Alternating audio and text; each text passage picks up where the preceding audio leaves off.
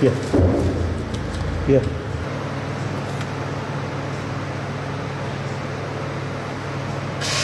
تاریخ هفته بهمن ماه علامه آبریزش از بینی از شیر نر ایرانی دیده شد که سریعا مراتب به سازمان های نظارتی مثل سازمان دامپزشکی سازمان محیط و مدیر کلا اطلاع داده شد. و از دامپزشکان قدیم باغ و متخصصین دانشگاه دامپزشکی و اساتید صاحب نظر در این زمینه کمک گرفته شد. یه سری کارهایی در بیمارستان مجهز انجام شد مثل سونوگرافی سی تی اسکن و رادیوگراف و نمونه خون و نمونه بافت و, و نمونه ترشحات گرفته شده که تا نتیجه قطعی آزمایش مشخص بشه و ببینیم چی کار باید کرد. اطلاع بیماری حالا مثل نمیشه گفت قطعا چیه. حالا یا باکتری یا ویروسی یا سرماخوردگی که باید قطعا نتیجه آزمایشات مشخص بشه که نظر قطعی بدیم. الان هیچ نظر قطعی نمیشه داد. الان به اتحادیه باغ وحش اروپا اطلاع دادید؟ با توجه به اینکه از این سیستم هم اومده؟ بله بله جزء وظایفمونه. خب بررسی خواهند کرد. یعنی اونا به موضوع ورود بله حتی کمک هم خواستیم نظرم به حال دادن. اونا منتظر به حال نتیجه آزمایشات هستن. خب آقای قندلی الان این کیس خیلی فوری هستش. یعنی مثلا کیس عادی نیست که ما بگیم می‌تونیم صبر کنیم یه هفته جواب آزمایش بیاد.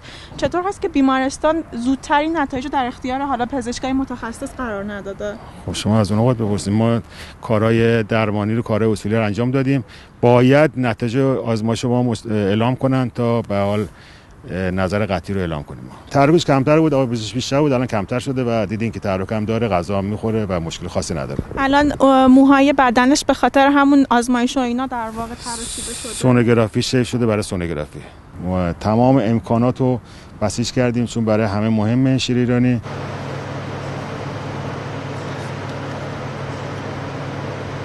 از روز سهشنبه هفته گذشته حدودای ساعت دو سه بعد از ظهر طی اطلاعی که مراقبان جایگاه به بنده دادن شیر مقدار از لحاظ ترشحات سروزی که در ناحیه سر و صورت بود و یک مقدار حالت عمومی ضعف عمومی به بنده اطلاع دادن بعد از اینکه ارزیابی های اولیه انجام گرفت مشخص شد که علائمی از یک رینوتراکیت سروزی در حیوان مشاهده میشه که خب بلافاصله اقدامات لازم انجام شد. اطلاع رسانی های لازم بلافاصله به سازمان های دامپزشکی و محیط زیست داده شد و طی هماهنگی که با مدیریت محترم باغ صورت گرفت در اسرع وقت با توجه به اینکه ما کارهای دامپزشکی رو در باغ به صورت تیمی و با کمک گرفتن از یک شورای تخصصی انجام میدیم متخصصان صاحب نظری که در کشور وجود دارند از مشکل مطلع شدند.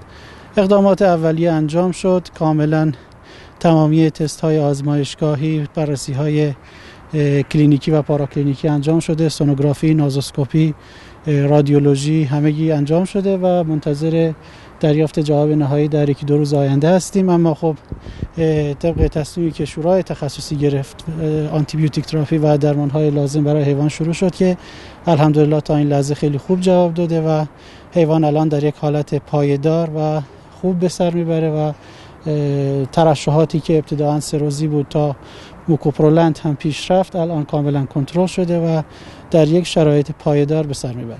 به صورت 24 ساعته هم از طریق دوربین های مدار بسته و هم از طریق مراقب اختصاصی پایش میشن و کوچکترین تغییر و مواردی که باشه بلافاصله در اسرع وقت و بنده خبر میده ان مشکلی نیست و کاملا عرض کردم تحت کنترل و به امید خدا در طی هفته آینده حیوان را کاملا سالم و سلامت می‌تونید مشاهده بفرمایید.